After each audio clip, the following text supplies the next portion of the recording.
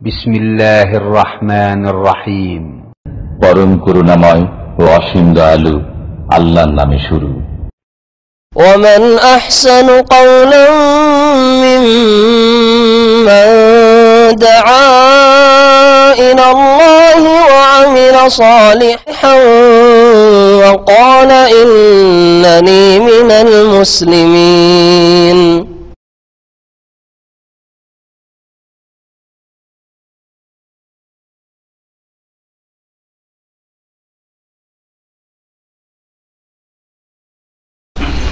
সাফাত সম্পর্কে বলছিলাম যে সাফাত আট প্রকারের।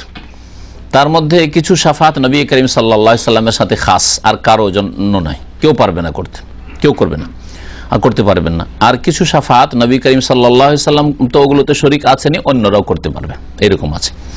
প্রথম যেগুলি শুধু নবী সাল্লাম করবেন, আর কেউ করতে পারবেন ওই সাফাতগুলি শুনেন। প্রথম সাফাত হচ্ছে সাফাতে ওজমা যেটা হাদিসে সাফাতে ওজমা মানে বৃহৎ সাফাত। সবচেয়ে বড় সুপারিশ। আর এটাকে মাকামে মাহমুদ বলা হয়েছে, প্রশংসনীয় স্থানে। নবী করিম সাল্লা সাল্লাম পৌঁছিবেন, আল্লাহ পাক পৌঁছাবেন এবং আল্লাহ পাক রব্বের কাছে অনুমতি চাইবেন। এই সাফাতটা হচ্ছে হাসর বিচারে, হাসরের মাঠে বিচার দিবসে যখন সমস্ত উম্মতের লোকেরা বিচার হোক, আর আমাদের বালা মুসিবত দূর হোক, আর এই কষ্টের অবস্থা দূর হোক, একটা ফয়সালা হোক। আল্লাহ পাকের কাছে ফয়সালার দরখাস্তের জন্য। সমস্ত উম্মতের লোকেরা জমা হবে, আর কোথায় যায়? যায় প্রথম মানুষের আদমের কাছে যায়। আদম আলি সাল্লাম অস্বীকার করবেন যাই নু আলি সাল্লামের কাছে তিনি অস্বীকার করবেন যাই ইব্রাহিম আলী সালামের কাছে তিনি অস্বীকার করবেন যাই মোসা আলি সাল্লামের কাছে অস্বীকার করবেন, ঈসা আলি সাল্লামের কাছে তিনি অস্বীকার করবেন। শেষে সবাই ফিরে আসবেন কোথায়? রসুল্লাহ সাল্লামের কাছে। শুনেছেন হাদিস না শোনেন নেই লম্বা হাদিস রয়েছে। যদি শুনতে চান, আগামী সপ্তাহে না ওই লম্বা হাদিস শোনাই দেবো। তো নবী করিম সাল্লাম তখন বলবেন যে আনাল্লাহ আমি এই সুপারিশ করতে পারব। সবাই অস্বীকার করলেন আমরা পারব না, আমাদের দ্বারা হবে না। বিচারটা হোক, বিচার হিসাব নিকাশ হোক, আল্লাহ আমাদের এই কষ্ট, মুসিবত দূর হোক, যে ঘামে হাবুডুবু আর সূর্য আধা হাত ওপরে অথবা এক মাইল। হ্যাঁ? এইরকম। দুটো ব্যাখ্যা রয়েছে হাদিসটার। তো চিন্তা করেন, যেই সূর্য এত দূরে থাকা সত্ত্বেও গরমের দিন আমরা বাইরে বেরোতে পারছি না হ্যাঁ? আর সেই সূর্য যদি এক মাইল দূরে হয় অথবা তার তারও কম হয়, তাহলে কি অবস্থা হইতে পারে? পৃথিবীতে হলে তো পৃথিবী জলে হ্যাঁ খাক হয়ে যেত। কিন্তু সেই সময় আল্লাহ পাকি হয়তো রক্ষা করবেন, সেজন্য জলে খাক হবে না। কিন্তু কষ্ট যে কত হবে আর বান্দারা ঘামে হাবুডুবু করবে। এই অবস্থায় দরখাস্ত করবেন রাসুল্লাহ সবাই এসে যে আপনি সাফাত করেন। নবী সাল্লাম সেজদা পড়ে যাবেন, সাফাত করবেন। এটা হচ্ছে একমাত্র নবী সাল্লামের খাস খাস। নবী ছাড়া অন্য কোনো নবীও করবেন না, অন্য কোনো ফেরিস্তাও করবেন না। না জিব্রাইল, না মিকাইল, না ইসরাফিল। দ্বিতীয় সাফাত হচ্ছে সাফাত সাল্লাহ দখুল আহলিল জান্নাতে বাদাল ফারাগ মিনাল হিসাব। হিসাব হইল। হিসাব হওয়ার পরে জান্নাতে দরজা খোলা হবে। এর জন্য আল্লাহ পাকের কাছে সুপারিশ করবেন রসুল্লাহ সাল্লাম যে আল্লাহ, জান্নাতে দরজা খোলা হোক। আর সর্বপ্রথম দরজা খোলা হোক কার জন্য? নবী করিম সাল্লামের জন্য। বাবাল জান্না নবী করিম আমি প্রথম ব্যক্তি যে জান্নাতের দরজায় নক করবে। আর আমার জন্য প্রথম খোলা হবে, আমি প্রথম দাখিল হব, প্রবেশ করব, আর তারপর আমার উম্মতের লোকেরা প্রবেশ করবে। তারপর অন্যান্য নবী এবং তার উম্মত। নবী আর তার উম্মত এইভাবে। তৃতীয় সাফাত রসুল্লাহামের সাফাত ফি আম্মেহি আবি তালেব, তার চাচা আবু তালেব সম্পর্কে। কি সাফাত? চাচা আবু তালেব কাফের মুশরেক হইলেও এটা ব্যতিক্রম হুকুম। অন্য কোন কাফের মুশরেকদের ক্ষেত্রে কোনো সাফাত হবে না। রসুল্লাহামের হবে না অন্যরা হবে না। কিন্তু চাচা সম্পর্কে যেহেতু হাদিসে রয়েছে, সেই জন্য আমরা বিশ্বাস করি। যদি হাদিসে না থাকতো, তো আমাদের কাছে কোরআনে করিমের আম যেটা হুকুম আল্লাহ পাকের অর্ডার যে মুশ্রেকের জন্য কোনো সাফাত নেই। আবু তালেবের জন্য যে সাফাতটা হবে জান্নাতে নিয়ে আসার জন্য নাই জাহান নামের আজাব হালকা করার জন্য। জাহান নামের আজাবটা হালকা করার জন্য। তার চাচা আবু তালেব সবচেয়ে বেশি হিতাকাঙ্ক্ষী ছিলেন রসুল্লাহ সাল্লামের তার বংশধরদের মধ্যে। আল্লাহ পাক ইমানের তৌফিক দেয়নি তার অন্তরে সেটা আসেনি ইমানের তৌফিক আল্লাহ গত সপ্তাহে আবু তালেবের যে কুফুরের অবস্থায় মারা যাওয়ার ঘটনা শুনিয়েছি আপনাদেরকে। আল্লাহর কাছে দরখাস্ত করে রসুল্লাহ আল্লাহ, আমার চাচার আজাবটাকে হালকা করো।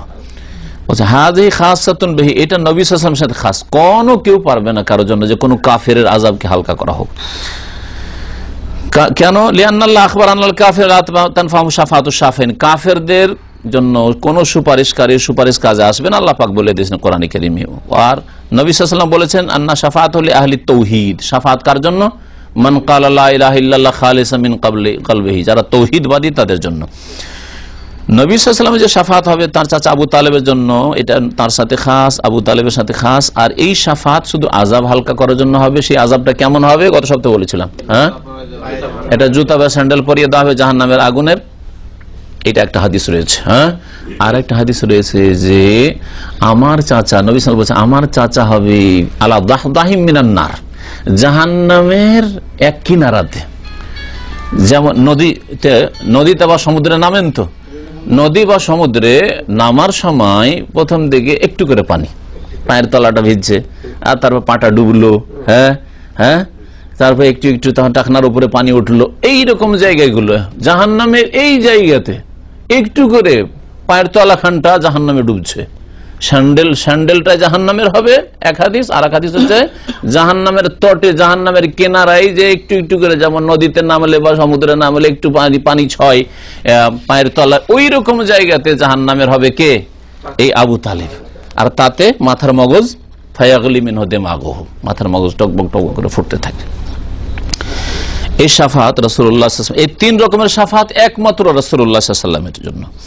চতুর্থ সাফাত নবীও করবেন আর অন্যরাও করবেন, ফেরেশতারাও করবেন, সিদ্দিকিন সোহাদারাও করবেন। সাফাত ফিমাই ইস্তাহাকান্নার মিন ওসাতিল মহিদিন আল্লাহ খোলাহা নবী সাসমা সুপারিশ করবেন ওই সব নাফারমান তৌহিদবাদীদের জন্য। তৌহিদ ঠিক ছিল, কিন্তু গুনাগার নাফারমান, ফরজ অজেব ছেড়েছে, হারাম কাবিরা করেছে। জাহান নামে যাওয়ার অর্ডার হয়ে গেছে, আল্লাহ এদেরকে জাহান নামে দিও না। জাহান নামে যাওয়া, তাদের যাওয়ার আগেই তাদেরকে সুপারিশ করে জাহান্নাম থেকে রক্ষা করা হবে।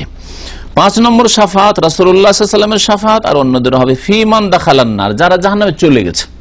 আগেটা ছিল জাহান্নামে যায়নি, কিন্তু জাহান্নামের অর্ডার হয়ে গেছিল। এরা জাহান্নামে চলে গেছে, জাহান্নামে জ্বলছে। মিন ওসাতিল মাহিদিন কিন্তু তারা মাহিদ না ফারমান মুসলিম সমাজের মমিন একত্র প্রতিষ্ঠাকারী, শির্ক মুক্ত, কিন্তু নাফারমানি করেছে। ফরজ অজেব ছেড়ে হোক, আর হারাম কাবিরা করে হোক। যে আল্লাহ আই আখরোজা মিনহা, এরাকে তুমি বের করে, এরা বের হোক। বের করার জন্য। জাহান নাম থেকে তখন আল্লাহ পাক ঠিক আছে, এইরকম লোকগুলিকে নামাজি ছিল, কিন্তু চুরি করেছে। চলো। নামাজি ছিল, এরা এই- অন্যায়গুলি করেছে।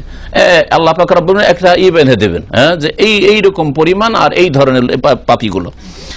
ছয় নম্বরে সাফাত সাফাত সাল্লাহ আলী সাল্লাম ফিরাফে দারাজাতে বাদ আহলিল জান্নাত। জান্নাতের লোকের, কিছু লোকের জান্নাতে গেছে, কিন্তু মর্যাদা খুব নিচু মর্যাদা। টেনে টুনে কোন রকম জাহান্নামে, জান্নাতে গিয়েছে তো নবী করিম সাল্লাম সাফাত করবেন আর অন্যদেরও সাফাত হবে মালাইকাদের অন্যদেরও যে আল্লাহ এদের একটু মর্তবা উঁচা করা, মর্যাদা উঁচা করে একটু হ্যাঁ? যেমন স্কুল, কলেজে পড়ার ক্ষেত্রে একবার টেনে টেনে পাশ করেছে, দু তিনটা চারটা নম্বর দিলে হয়তো একটা সেকেন্ড ডিভিশন পেয়ে যাবে, চলো সেকেন্ড ডিভিশন করো হ্যাঁ? সেকেন্ড ডিভিশন পেয়েছে দু তিনটা নম্বর যেন ফার্স্ট ডিভিশন ছুটে যাচ্ছে, চলো একটু উঠিয়ে দাও হ্যাঁ? তো এই সাফাতটা হবে, ছয় নম্বর সাফাত এটা। সাত নম্বর সাফাত সাফাত সাল্লাহ আলী সাল্লাম নবী সাল্লামের সাফাত হবে, ফিমান ওই সব লোকদের সম্পর্কে ইস্তাওয়াত হাসানা তোমার সাইয়াতিম যাদের নেকি আর গুনাহ বরাবর হয়ে গেছিল। যেমন নাকি, তেমন গুণা দাঁড়ি পাল্লা ওজন করতে গিয়ে অনেক লোক এরকম হবে নেকি আর আর গোনা বরাবর এই দাঁড়ি পাল্লা এভাবে দাঁড়িয়ে গেছে, সমান। এখন কোন দিকে যাবে? এদেরকে আল্লাহ কোরআনে কেরিমে বলেছেন, আসাবুল আরাফ। সুরে আরাফকে ওই জন্য আরাফ বলা হয়। মানে জান্নাত আর জাহান্নার মাঝখানে। এদেরকে রাখা হবে জান্নাত জাহান্নার মাঝখানে। যে দেখো, তোমাদের কিন্তু নেকি গোনা সমান। দেখো, জাহান্নাম জাহান্নাম দেখবে। জাহান্নাম দিকে, জান্নাত দেখবে। জান্নাত দেখে একটু আশা করবে যে আল্লাহ দিতে পারে হয়তো। আবার জাহান্নাম যখন দেখবে, জাহান্নামে তো যেতে হবে। এই অবস্থায় থাকবে। শেষ পরিমাণ সবার যখন হিসাব নিকাশ হয়ে গেল, এরা যাবে কোথায়? আল্লাহ ফকরাবুল আলমিন আম্বিয়া রসুলগণের সাফাতে নেক লোকদের সাফাতে ফেরিস্তাদের সাফাতে এদেরকে জান্নাতে দেবেন। কারণ নবী সাল্লাল্লাহু হাদিস রয়েছে, ইন্না রাহমাতি সাবাকা তালা গাজাবি এদের নেকি গুনাহ সমান হইলেও আল্লাহর রহমত, আল্লাহর গজব ক্রোধের তুলনায় প্রাধান্য পাবে। তো আল্লাহর রহমতের দাবি হচ্ছে যে এদের গোনা নেকির সমান হইলেও এদেরকে জান্নাতে দেওয়া হোক। তো আসাবে আরাফের জন্য সাফাত হচ্ছে সাত নম্বর সাফাত। ওহম আহলুল আরাফ। আট নম্বর সাফাত হচ্ছে সাফাত আলি মোমেনিন আল বেলা করিম কিছু মমিনদের জন্য সুপারিশ করবেন যে আল্লাহ এদের হিসাব না হোক আর এদের আজাবও না হোক। আজাবও না হোক আর হিসাব না হোক। যেমন কিতাব তহিদে একটা অধ্যায় পড়েছেন যে সত্তর হাজার নবী সাল্লামের ওম্মতের লোক জান্নাতে যাবেন? বিনা হিসাবে? বিনা আজাবে ওদের গোনাবলী ওদের লক্ষণ বলা হয়েছে, ওই অধ্যায় আলোচনা করা হয়েছে। এরা তো যাবে। এছাড়াও ধরেন এই উম্মতের অনেক নেক লোকেরা আছে, জান্নাতে যাবে, কিন্তু হিসাব হইতে পারে। তুমি এই করেছ, তোমার এই হয়েছে, তোমার মালের হিসাব দাও, ধনের হিসাব দাও তোমার যৌবনের হিসাব দাও, আয়ুর হিসাব দাও, তাই না? হ্যাঁ? তোমার এলমের হিসাব দাও, আলেম হয়েছিল, এলমের হিসাব দাও, কি করেছ তুমি, প্রচার করেছ, দাওয়াত দিয়েছ কিনা, ইত্যাদি।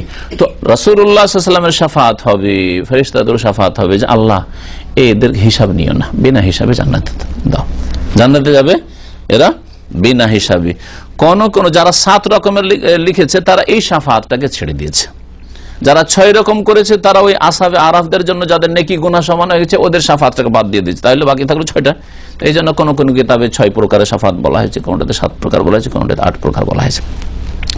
প্রথম তিন প্রকার বাদ দিয়ে বাকি যে পাঁচ প্রকার, এই সম্পর্কে বলছেন ইয়োসারে কহু ফিহা গাই রহমিনাল আম্বিয়াই ওয়াল মালায়কাত ও সিদ্দিকিন ও সোয়াদা নবী নবী সাল্লাহ সাল্লামের সাথে সুপারিশ করবেন অন্য অন্য নবীগণ, মালায়কা ফেরিস্তাগণ সিদ্দিকিন সাহাবাইকের আমরা প্রথম সিদ্দিক তারপরে অন্য অন্যরা ইমাইকরাম সোহাদা, শহীদগণ আল্লাহ রাস্তায় যারা শহীদ হয়েছে, এই রকমই সাফাত করবে, যেমন নবী সাল্লামের হাদিস রয়েছে সাফাত করবে, ওই ছেলে, যেই ছেলে মায়ের পেটে অসম্পূর্ণ অবস্থায় হ্যাঁ মারা গেছে।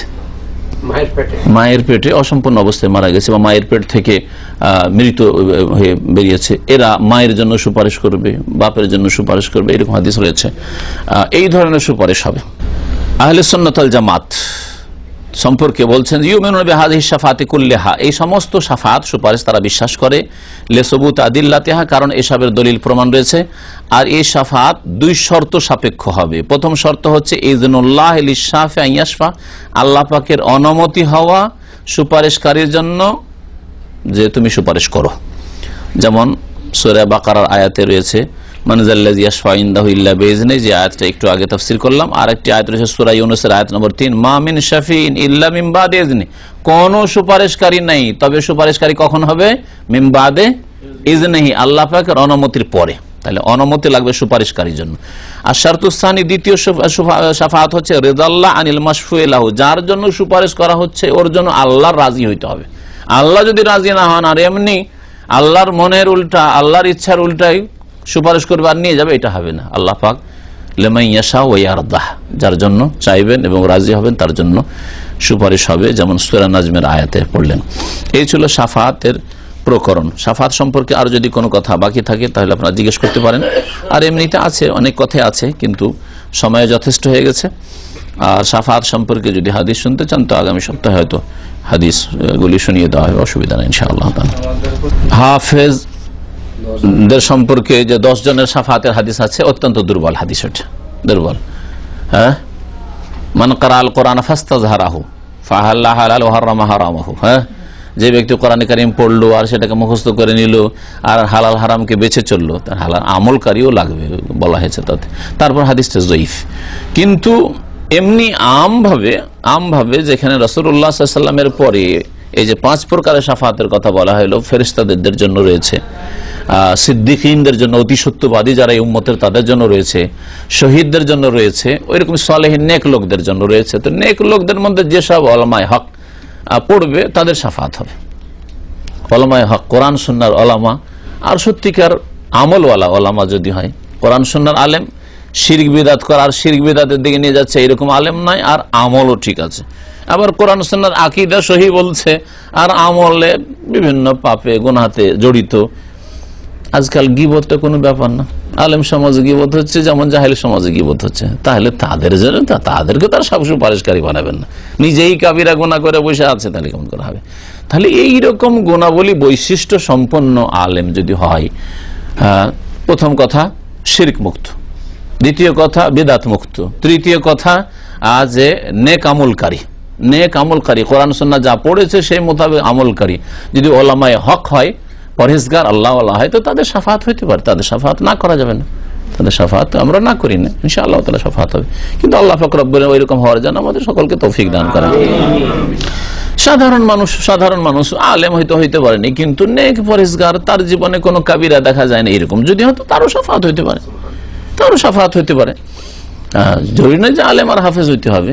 কিন্তু এইরকম গুণাবলী হইলে তো আপনি মোটা খেয়ে মোটা বুঝলে তার হবে না। আপনার জীবনে মেলা কাবিরা আছে, কিন্তু আপনি কাবিরাই মনে করেন না হয়তো। চুগলখড়ি করে দিলেন, অথচ ওটাকে আপনি খেয়ালি করলেন যে আমি চুগলখড়ি কাবিরা গোনা করলাম। যার জন্য কবর আজাব গিবোধ সমালোচনা কারও করে দিলেন, কারও সম্পর্কে অতিরঞ্জন, বাড়াবাড়ি, কথা অন্যায়, কথা জালেমানা কথা বলে দিলেন। হ্যাঁ? আজকাল ইন্টারনেটে ইন্টারনেটে যেইভাবে মিথ্যার ছড়াছড়ি তো যদি আলেমে দিনও হয় অথবা পরেশগার লোকও হয় আর কারও সম্পর্কে মিথ্যা ছড়ায় তো কাবিরা গোনা নাই? কাউকে নিয়ে ঠাট্টা মজাক করা ব্যঙ্গচিত্র করা হ্যাঁ? এগুলো কাবিরা গোনা নয় তাহলে কি করে? তা সে কি করে হিসাব দিতে পারবে? মানুষের হক নষ্ট করেছে কারও ব্যঙ্গচিত্র করে ঠাট্টা বিদ্রুপ করেছে কাবিরা গোনা করে বসে ওর সাফাহাতের কথা কি চিন্তা করে? ওর নিজের যে কি হবে তাই চিন্তা করে? বুঝছেন না? এই জন্য মনে করবেন না যে আমার হয়তো কাবিরা গোনা হয় না। হ্যাঁ নামাজের ক্ষেত্রে হয়তো কাবিরা গোনা হয় না, নামাজ পাঁচ অক্ত পড়ছেন। রোজার ক্ষেত্রে কাবিরা গোনা হয়, রোজা সবটাই রাখছেন। জাকাতে পুরাই দিচ্ছেন, কিন্তু আপনার দৈনন্দিন জীবনে বাকি বাকি আপনার অশ্লীল কথা যদি আপনার মুখে থাকে, আপনার যদি স্বামী স্ত্রীর সাথে আচরণ ভালো না থাকে, আপনি যদি সেখানে যদি কোন রকম জুলুম করেন, ইত্যাদি ইত্যাদি, পাড়া প্রতিবেশীর সাথে আপনার চলাফেরায় যদি জুলুম অত্যাচার থাকে, আপনার অধীনে যারা কাজ করছে তাদের কষ্টের কারণ যদি আপনি হন তাহলে এগুলো কি কাবিরা গোনা নয়? এরকম বহু কাবিরা গোনা রয়েছে। যে কাবিরা গোনাগুলি সম্পর্কে সূক্ষ্মভাবে চিন্তা না করলে, সূক্ষ্মভাবে না বললে হয়তো অনেকে বুঝবেন না যে আমি আর কাবিরা গোনা কি করলাম? পাঁচ ওয়াক্ত নামাজ পড়ছি, আলহামদুলিল্লাহ তসবিজিকে রাজগার করছি তার যুদ্ধ পড়ছি, আমি আবার কোন কাবিরা করলাম? সারা দিনের ভালো করে হিসাব, আর আমার কাছে আর আপনার কাছে তো হিসাব হবে না। হিসাব তো ওই ফেরেস্তাদের কাছে আছে যারা রেকর্ড করে রাখছে। ঠিক না? যে সারাদিনে কি বলেছেন আর কি করেছেন আর কোনখানে হেঁটেছেন? তো আল্লাহ পাক রব্বুল আলম যেন আমাদেরকে কোরআন, হাদিস বুঝার তৌফিক দান করেন। আল্লাহ পাক আমাদের গোনা খাতা মাফ করে দেন। নবী করিম সাল্লাহ সাল্লামের সাফাত যেন আমাদেরকে দান করেন। রসুল্লাহ সাল্লাহ সাফাত চাইবেন কেমন করে? কার কাছে চাইবেন? আল্লাহর কাছে চাইবেন। শুরুতে বলেছে জন্য সাফাতের মালিক আল্লাহ, যিনি মালিক তার কাছ থেকে চাইতে হবে। এই কিতাবের মালিক আমি। আর যদি আমার ছেলের কাছ থেকে চান তো চলবে। ছেলেকে মোহাম্মদ, এইটা দিয়ে দাও, কিতাবটা দিয়ে দাও। চলবে? চলবে না, তাই না? এই অফিসের মালিক অফিসওয়ালারা, যদি আমার কাছে আমাকে বলেন যে অমুক জিনিসটা দিয়ে দেন তো চলবে? এই কোরআনটা দিয়ে দেন, চলবে? এটা দেওয়ার মালিক আমি? তাহলে সাফাতের মালিক, লিল্লাহি সাফাত আল্লাহ মালিক, সুতরাং আল্লাহর কাছে সাফাত চাইতে হবে। এই কথাগুলি যে আজকে আলোচনা সাফাতে করলাম, এগুলি যদি বুঝলেন তাহলে ওই সিরকি সাফাত থাকবে না। আর একটা কথা বলা হয়নি, কারণ সাফাত সম্পর্কে অনেক কথা আছে, গুরুত্বপূর্ণ কথা। আল্লামা ইসমাইল শাহিদ রহমতুল্লাহ আলী ইংরেজদের যুগে শাহাদাত বরণ করে ইংরেজদের বিরুদ্ধে জেহাদ করে ভারতে। আর বহু বাঙালিরা তার সাথে জেহাদ করেছিলেন, বালাকোটে শহীদ হয়েছিলেন। তিনি তাকিয়াতুল ইমান কিতাবে এই সাফাতের একটা উদাহরণ দিয়েছেন। সেটা হচ্ছে যে আল্লাহ পাক রব্বুল আলমিন একজনকে মাফ করতে চান, কিন্তু গুনাহ করেছে। সরাসরি গুনাহ করেছে, তো সরাসরি তো মাফের যোগ্য নয় সে। কিন্তু একটা একটা বাহানা হওয়া উচিত মাফের। তাই না? এই বাহানাটা কি হয়? বাহানাটা হচ্ছে যে কেউ সুপারিশ করুক তার জন্য। যেমন আমি উদাহরণটা একটু বুঝাই। এই উদাহরণটা উনি দিয়েছেন। কারও ছেলে আপনাদের বড় ছেলে আছে? কারও বড় ছেলে আছে? আছে। বড় ছেলে আপনার না নাফারমানি করেছে আপনার অথবা মা মায়ের সাথে খারাপ ব্যবহার করেছে। তখন বাড়ি থেকে তাড়িয়ে দিয়েছেন। স্বাভাবিক মা বাবার রাখেছে বাড়ি থেকে তাড়িয়ে দিয়েছে তাড়িয়ে দেওয়ার পরে সন্ধ্যা হয়ে যাচ্ছে। আর আসে না ছেলে ফিরে। সেই সময় কি হয় বাপ মায়ের মনে? বলেন, ছেলেটা যদি ফিরে চলে আসতো, উফ, কোথায় যে গেল? আছে না মরলো না বাঁচলো, কি রাগ করে কোথায় গিয়ে ট্রেনের তলেই পড়ল না কি হইল? আল্লাহ জানে। হ্যাঁ কি কোন দেশ থেকে কোন দেশ চলে গেল? মানে কত রকমের যে দুশ্চিন্তা আপনাকে ধরলো, তাই না? তখন মনটা বলে, ছেলেটা যদি আসে তো সরাসরি আসতেও দেওয়া যাবে না, কারণ চরম অন্যায় করেছে, আসতেও দেওয়া যাবে না। কারণ আসলে এটা কেমন হচ্ছে তার সংশোধন হবে না। ঠিক না? আসতে দেওয়া যাবে না। তখন চিন্তা করে ওর যদি কেউ হ্যাঁ শাসনের প্রয়োজন রয়েছে। সেই জন্য ওর চাচা যদি কেউ যদি বাপ চাচা ভাই বেরাদর কেউ যদি ধরে নিয়ে আসতো অথবা ওর মামা যদি ধরে নিয়ে আসতো হ্যাঁ যে চল ভুল করেছি চল মাফলে তোর মা হাত ধর মাপলে চল হ্যাঁ নিয়ে আসতো। একটা বাহানা খুঁজে তাই না? চাই যে বাড়িতে চলে আসো কিন্তু ভুল স্বীকার করে আসো ঠিক না?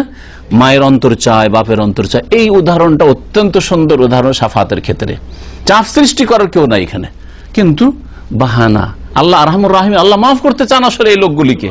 কিন্তু মাফ করার জন্য একটা ওসিলা, নবী সাফাত করুক, অথবা অন্য কোনো নবী করুক, অথবা আবুবাকার ওমর ওসমান আলী কেউ করুক হ্যাঁ কোনো সাহাবি করুক, কোনো তাবিক ইমাম করুক, সাফাত কোনো আল্লাহ আল্লাহ নেক বান্দা সাফাত করুক হ্যাঁ কোনো ফেরিস্তা করুক সাফাত করলে আমি মাফ করব। এটা আল্লাহ বাহানা চান কিন্তু আল্লাহ চাপ সৃষ্টি করে না কোনো চাপ নেই। কোনো চাপ আল্লাহর উপরে কেউ করার নেই। তাহলে মানুষের সাথে আপনি আল্লাহকে তুলনা করে দিলেন।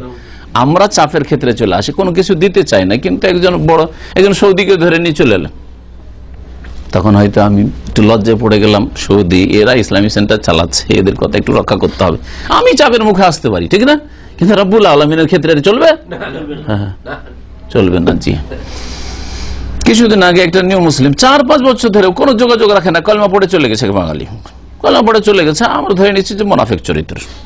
আর নামাজ পড়ার রিপোর্ট মাঝে মাঝে রিপোর্ট নিতে থাকি, আমরা কিন্তু নামাজও ঠিকভাবে পড়ে না। এইরকম লোকে আমরা সার্টিফিকেট দেবো না এক সৌদিকে ধরে নিয়ে চলে এসছে ওখানে ওর কাছে চুল টুল কাটে সেলুন সৌদিকে ধরে নিয়ে চলে এসছে।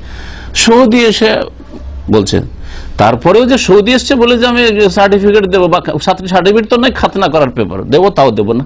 বলছি, না না না, একে দেওয়া যাবে না। আমি সৌদিকে বললাম যে, দেখো, একে দেওয়া যাবে না, কারণ এর সম্পর্কে আমাদের কাছে পাঁচ অক্ট নামাজ পড়ে কিনা এই রিপোর্ট নাই। তখন সৌদি এমন সার্টিফিকেট দেওয়া শুরু করল, না লা আনাফিসু খামসু চলা পাঁচ অক্ট নামাজ পড়ে। এখন মিথ্যা বলে সৌদি যাবে গোনাকার হবে। আমার তার ক্ষতি না এখন তো সার্টিফিকেট পেলাম আমি। ও বলছে, পাঁচ অক্ট নামাজ পড়ে আপনি খাতনা লেটার দেন। আপনি বলছেন, আমি বললাম, আপনি বলছেন যে ইয়ে করে, পাঁচ অক্ট নামাজ পড়ে আন্তা তার সাথ বলছে হ্যাঁ আমি সাক্ষী দিচ্ছি। খালাস, তাহলে আমি ঠিক আছে। বুঝছেন? তো কখনো কখনো মানুষ চাপের মুখে যায় সৌদি একটা সম্ভ্রান্ত মানুষ এসছে আর বলছে যে, লোকটা নামাজ পড়ে। যদি আমি মনে করছি যে নামাজ পড়ে না, একে সার্টিফিকেট দেওয়া যাবে বা খাতনা পেপার দেওয়া যাবে না, তারপরে যাকে দিয়ে দিই। আমি চাপের মুখে আসতে পারি, কিন্তু আল্লাহ পাকের ক্ষেত্রে এটা প্রযোজ্য নয়। আল্লাহ পাক আরহামুর রাহিম দয়া করতে চান, একটু ওসিলা বাহানা চান যে কেউ একটু ওকে নিয়ে আসুক। ওর সম্পর্কে বলুক যে আল্লাহকে মাফ করেন। আল্লাহ আসলে মাফ করতে চান। এই জন্য সাফাত শেষ হয়ে যাবে সব কিছু হয়ে যাবে। সহি মুসলিম হাদিস হয়েছে সাফাত মালায়কা তো সাফাত নবী ও নওয়াজ হন ফেরেস্তারা সাফাত করল নবীরা সাফাত করল, আর নেক লোকের সাফাত হইল। ওয়ালাম ইয়াবকা ইল্লা আরহামুর রাহিমিন। এখন শুধু আরহামুর রাহিমিন বাকি। আল্লাহ বাকি। তখন আল্লাহ পাক রব্বুল আলমিন বলবেন যে জাহান্নামে যারা আছে, উঠিয়ে নিন মুসলিমদের মধ্যে কাফেরদের থেকে মুসলিমদের মধ্যে আরও গুণাগার যারা এখনও সুপারিশ তাদের জন্য হয়নি। ওই ক্যাটাগরিতে পড়েনি আরও মেলা পাপ আছে এই জন্য ক্যাটাগরিতে পড়েনি সুপারিশের। ওদেরকে আল্লাহ নিজের খাস রহমতে তখন জান্নাতে দিয়ে দিবেন। জি। হ্যাঁ উস্তাদ আমার একটা প্রশ্ন আছে। এই যে আপনি যে বললেন যে মানে লাশ চাপায় যেটা হবে যে নেক লোক ইমাম এদের তো আমাদের দেশের পীরেরা তো এটা নিয়ে সুযোগ পাবে যে আমরা লোক প্রথম প্রথম খানে পীরেরা কেটে যাবে যে এরা অধিকাংশ সিরকি আকিদা রাখে দুই নম্বর এরা কেটে যাবে এদের তাসাউফ সুফি ইজম বিদাত ছাড়াই না। সুফি ইজম মানেই বিদাত। নবী সাসেন জামানায় সুফি ইজম ছিল না তাবে ইন্দের জামানায় সুফি ইজম ছিল না ইমাম আবু শাফি মালিকদের জামানাতে সুফিবাদ ছিল না হলুল ওয়াহাদাতুল ওজুদ। আর তারপরে ফানাফিল্লাহ ফানাফির রসুল ফানাফির শেখে যে ফানার আহ, হক্কানি পীরদের কিতাবে যে ফানার তকসিমগুলো আছে চরমনাইদের কিতাবেও আছে এগুলো। তো এগুলো কিছু ছিল না। ফানা কোথায় আছে যে আল্লাহতে লয় হয়ে লয় হয়ে যাবে, বিলীন হয়ে যাওয়া। আর শেখ মানে পীরের মধ্যে লয় হয়ে যাওয়া মানে আপনি যেন নামাজের মধ্যে রাত দিন সবসময় আপনার পীরের মধ্যে বিলীন হয়ে থাকবেন নিজে। নিজেকে লয় করে দিবেন। এগুলি তাদের ভাগলো কোথায় আছে ইসলামে? ইসলামে আছে যে ইসলাম ইমান আর এহসান নিষ্ঠার সাথে আল্লাহ পাকের এবাদবন্দি করে। হ্যাঁ? ফরজ আজের কমপ্লিট হয়েছে, হারাম নাজাজ থেকে বাঁচছেন, এখন মুস্তাহাব সুন্নত কাজ বাড়ান। অপছন্দনীয় থেকে বাঁচেন। তারপরে আপনি বেশি বেশি এখন নফল বাড়ান নফল ইবাদতবন্দি বাড়ান নফল দান খেরাত বাড়ান নফল নামাজ বাড়ান নফল রোজা বাড়ান হ্যাঁ? এইগুলো হচ্ছে নফল উমরা বাড়ান হজ বাড়ান। এগুলো হচ্ছে আসলে আল্লাহ আল্লাহ পর্যন্ত পৌঁছার জন্য দৌড় দেওয়া প্রতিযোগিতা। আর প্রতিযোগিতা এই নয় যে চোখ বন্ধ করে ফানাফিল্লা হক খুক হক খুব করবে। এগুলো কোথায় পেলে? তো এমন কোন পীরতন্ত্র আছে পীরের তরিকত আছে যাতে বেদাতি জিগির ছাড়া আছে? হ্যাঁ তাহলে? তাহলে বেদাতি আল্লাহর কাছে সুপারিশ করবে। সিরকি আকিদা রেখে আল্লাহর কাছে সুপারিশ করবে। ঠিক আছে। তো কেটে যাবে। এই জন্য আল্লাহর ওলি মানে পীরতন্ত্র নাই। আল্লাহর ওলি মানে ইমান এবং তাকুয়া যার মধ্যে আছে। ওখানে মানে কুফরি মুক্ত মুক্ত। আর মানে পাপ মুক্ত। যারা পাপ মুক্ত, এখন পাপ মুক্ত যারা যত বেশি হইতে পারবে, তত বেশি সুপারিশের অধিকারী হইতে পারে। জি। সাল্লাহ নবীনা মোহাম্মদ আলী ওসাহি আজমাই